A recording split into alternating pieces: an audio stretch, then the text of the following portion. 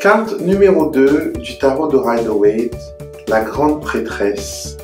Cette carte est aussi connue sous le nom de la papesse et elle montre une femme qui porte un voile, qui a le livre de la connaissance dans les mains et la lune à ses pieds.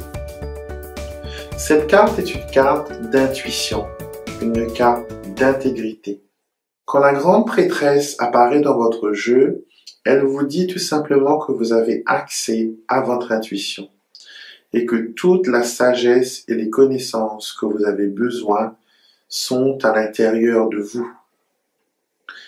C'est une carte aussi qui vous invite à faire confiance à votre ressenti, car vous avez en vous ce fabuleux don de pouvoir voir et ressentir les choses. C'est une carte aussi qui vous appelle à rester dans le silence et à vous ouvrir à votre intuition. Mot-clé pour la grande prêtresse, le silence, la connaissance, la sagesse. J'espère que cette vidéo vous a plu et qu'elle vous a permis de comprendre le sens du tarot.